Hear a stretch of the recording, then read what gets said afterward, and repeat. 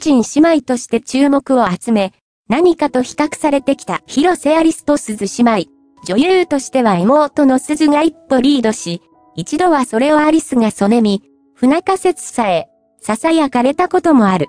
ファンの間ではこれまでに何度も、アリスと鈴、どっちがいいか、という議論が巻き起こっている。もちろん結論は出ていない。だが、ついに決着をつけるかもしれないイベントが開催されることとなった。東京都中央区銀座の銀座プレイス内にあるコモン銀座がリニューアルする記念として、広瀬アリスと鈴の姉妹写真展が開催されることになった。つ、二人の写真展は初めて。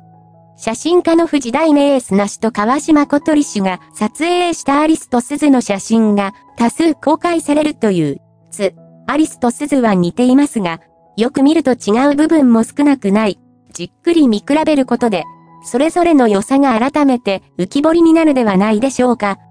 一般的にアリスは日本人離れした体つきが、鈴は可憐なルックスが評価されています。芸能ライター。つ、写真展は3月1日から10日まで、ファンはたっ